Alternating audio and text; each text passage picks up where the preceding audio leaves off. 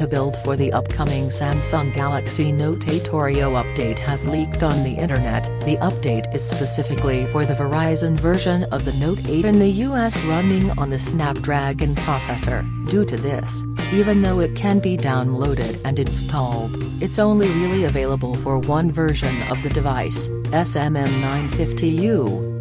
It's hard to say in what stage of development this update is in but it's unlikely to be the final build and likely one of the interim betas leading up to it that somehow got leaked. It runs on Android 8.0.0 along with Samsung Experience 9.0. We don't have a lot of details but some of the Reddit users have reported back saying it works fine on their device. The usual advisories and provisos apply while flashing a build you found on the internet to your phone so proceed with caution.